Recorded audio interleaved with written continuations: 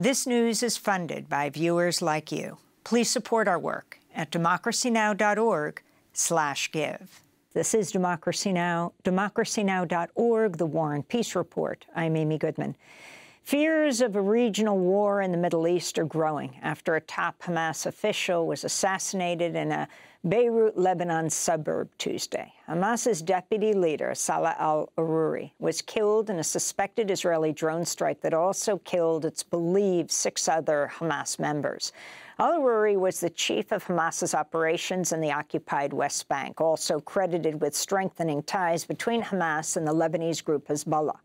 While Israel has not claimed responsibility for the assassination, one prominent Israeli lawmaker congratulated the Mossad and Shin Bet on social media. An Israeli army spokesperson said the military is in a, quote, very high state of readiness in all arenas in defense and offense, unquote. At the United Nations, a spokesperson for the UN Secretary General urged nations to show restraint. Because of the escalating tensions and the fragility of the situation in the region, we are calling to, for maximum restraint from all parties. We don't want any any rash any rash actions that could trigger further violence.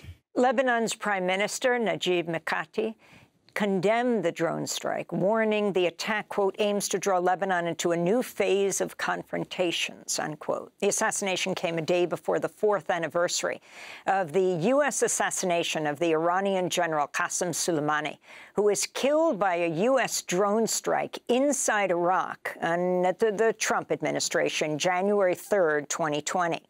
Earlier today, at least 73 people were killed in a pair of bomb blasts in Iran near Soleimani's tomb during an event marking his death. 173 at least were injured in the blasts, which local officials describe as a terrorist act. We're joined right now by Mouin Rabbani.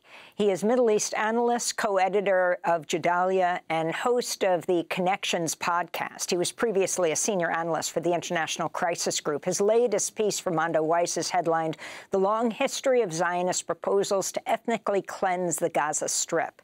We're going to begin with what's happened in Lebanon and the significance of it.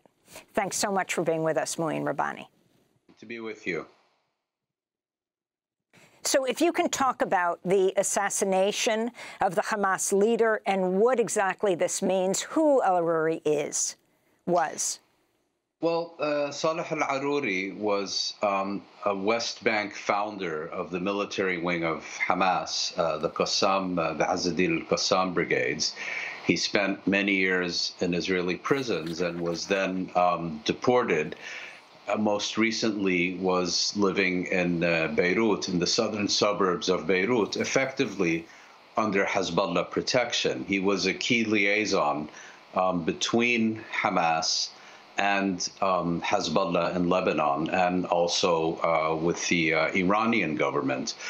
He's said to have been close with um, Yahya Sinwar and Mohammad Deif, respectively, the political and military leaders of Hamas in the Gaza Strip, and the architects of um, the Hamas attacks of October 7th. So I think um, this assassination is significant in two respects.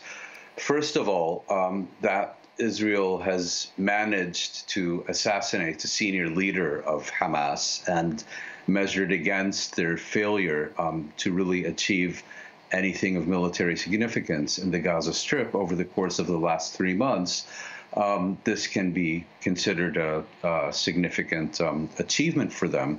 Although I think its impact on Hamas as an organization, apart from um, a serious blow to their morale, I don't think there will be uh, much consequence. The second, and perhaps more important, is that Hezbollah has clearly identified any such act by Israel on Lebanese territory, and particularly in the capital Beirut, as a red line um, to which Hezbollah will respond with a significant escalation.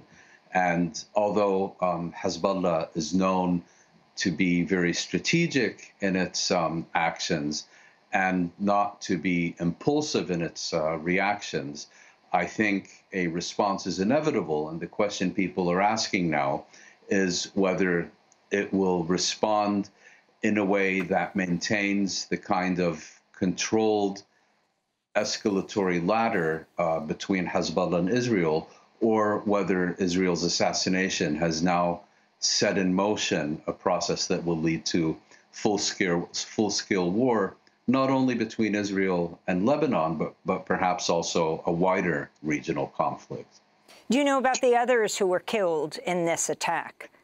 Well, um, seven people in all um, were assassinated yesterday. In addition to Arouri, there were um, two commanders of the Qassam brigades, the Hamas military wing, in addition to four other Hamas uh, cadres. It's quite clear that um, Arouri was was the key um, uh, target, and I think one thing um, that requires explanation from Hamas's side is how these seven people were meeting in a Hamas office in Beirut at a time when it was very clear that Arouri was wanted, uh, not only by Israel, but also by the United States, which approximately a decade ago put a price on his head, and um, why they didn't take greater precautions in terms of operational security um, that allowed Israel to uh, book this achievement. And some are even, you know, describing it as an own goal by Hamas at a time when it is denying Israel any significant military achievements in the Gaza Strip.